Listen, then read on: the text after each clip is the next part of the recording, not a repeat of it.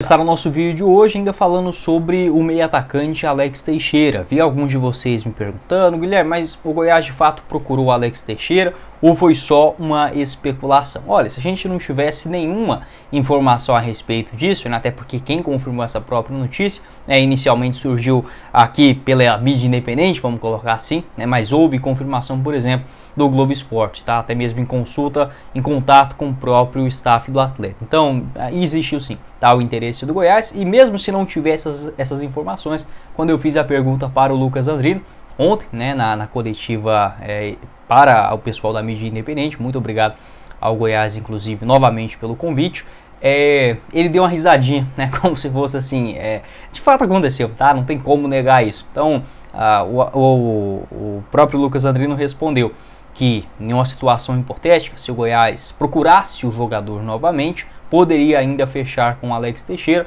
porque ele está livre no mercado uh, desde o final do ano passado. Até perguntei isso para o Lucas Andrino, porque a CBF acaba não deixando isso muito claro. E ele próprio respondeu também esta minha pergunta, que os jogadores que podem fechar Uh, enquanto a janela de transferências está fechada, né, encerrou no dia 19 de abril, volta a abrir no dia 10, aliás, 3, não, 10 de julho, tá certo? É, dentro desse período, o Goiás não pode contratar, né? Então ele tem que ir no mercado e contratar atletas que estão livres de janeiro para trás, ou seja, antes da reabertura da primeira janela do mês de janeiro, bem ali no comecinho do ano, salvo engano agora, no dia 16, tá? Então desse período para trás de jogadores que estão livres, o Goiás pode buscar. O Alex Teixeira ficou livre do mercado após não renovar o seu contrato no Vasco da Gama no final do mês de dezembro. Tá? Então é sim uma opção. Alex Teixeira pode ainda fechar com Goiás, apesar que eu vejo essa situação como pouco provável. Tá? Não tenho aqui né, como chegar para vocês e cravar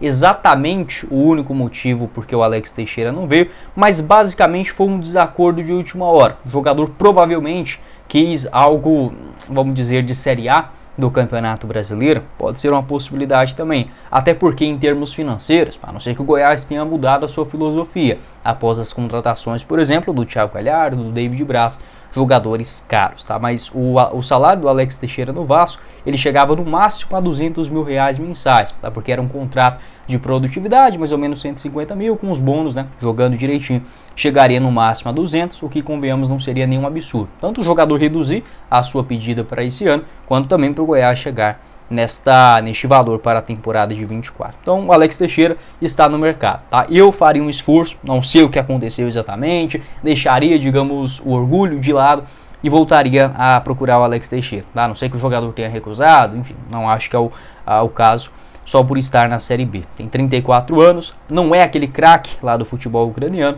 mas ainda assim, para uma posição precária né, dentro do elenco do Goiás, que é esse meia de criação, onde tem só o Regis, ele deve ficar mais umas três semanas fora dos gramados ainda. Né, um jogador como o Alex Teixeira, acho que ajudaria muito na Série B. E até esse momento, ele só foi especulado no Goiás e no Vitória, né, os clubes aqui do Brasil, em 2024. Bora começar o nosso vídeo de hoje para falar ainda sobre a possibilidade de reforços para o Goiás. Ué, Guilherme, mas a janela de transferências não está fechada? De fato, está sim. Tá? Ela se encerrou ainda no último dia 19 de abril e o Goiás não pode contratar mais jogadores que estão empregados, ou seja, um empréstimo, como tentou na situação envolvendo o Rossi, o Benítez também do Atlético Paranaense, esses não. Porém, jogadores que estão livres no mercado. Na entrevista que eu fiz na coletiva de imprensa do Lucas Andrino na última terça-feira, ele me revelou que os jogadores que poderiam ser contratados agora ainda seguir naquele mesmo critério da CBF nas últimas três temporadas, onde, quando a janela de transferências fechou, agora em abril,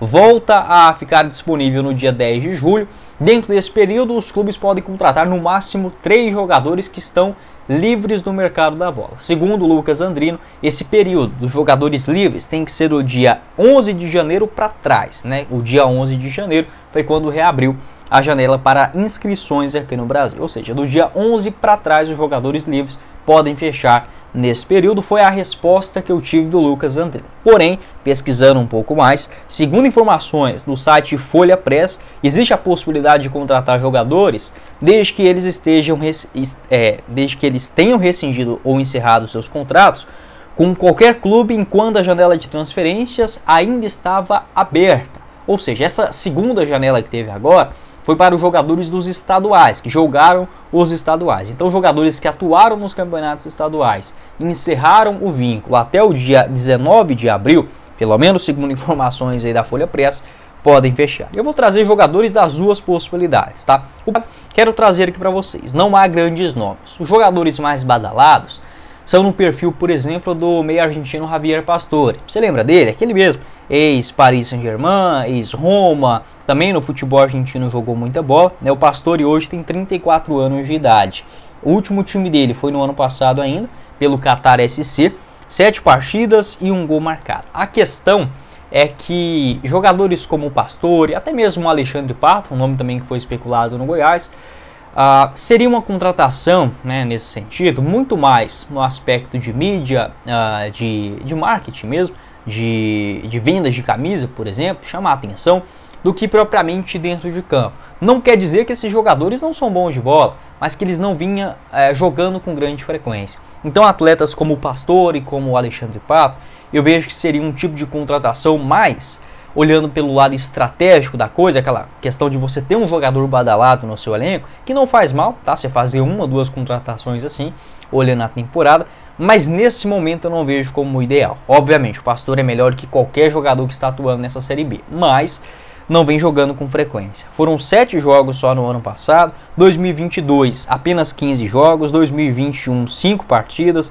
2019 15, 2018 17. A última vez que ele jogou mais vezes foi na temporada 17-18, 37 jogos naquele ano pelo PSG. Então nessa média de 15 e 17 jogos é complicado tá? você contratar um jogador nesse perfil. Fora isso, um jogador caro pra caramba, né? Lá no Qatar ganhava mais de um milhão por mês.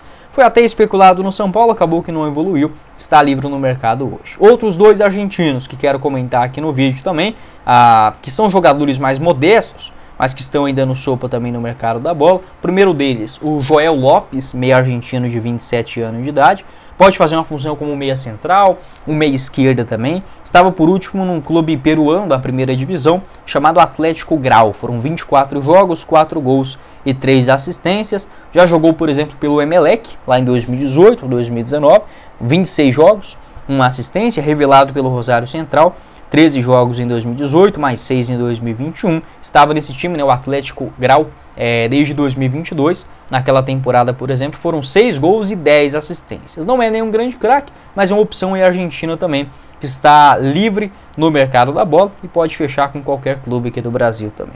Da mesma forma, o Brian Farioli, acho que é essa a pronúncia correta, meio argentino, 26 anos de idade, 1,80m, revelado nas categorias de base do Colón em 2020, passa também no Arsenal de Sarandi, teve até uma boa temporada em 2021, marcou 3 gols e deu 3 assistências, e o último time dele foi o Central Córdoba, né, o Central de Córdoba, ah, na primeira divisão do Campeonato Argentino do ano passado, 42 jogos, 2 gols marcados e duas assistências. É uma outra opção razoável da Argentina, geralmente mais um meia, um segundo meia, tá? Parecido, por exemplo, com Rafael Gavo, né, em questão de movimentação. Tá? Então são essas as opções. Não há grandes alternativas colombiana, uh, peruano, tá? Não existem grandes jogadores hoje é, livres no mercado. Uruguaios também não. Então seriam essas as alternativas, né, uh, livres hoje no mercado da bola, encaixando dentro desse período, livre antes do dia 11 de janeiro. Pode deixar sua opinião aqui embaixo nos comentários. O que, que você pensa a respeito desse assunto? Atletas livres, gringos, enfim, essa possibilidade do Goiás ainda de se reforçar. Eu não iria muito afoito agora, tá? Buscaria aí, acho que eu iria eu contrataria só o Alex Teixeira, tá sendo bem sincero aqui com vocês. Eu, eu, buscaria o Alex Teixeira, talvez um outro ponta, mas tem que olhar muito bem. Tá? Talvez o Alex Teixeira e o Matheus Vargas. Mas para a janela de, do meio do ano, de julho, Aí sim, o Goiás precisa ir no mercado e trazer essa opção de velocidade. Vamos ver, tem muito jogo ainda pela frente até lá.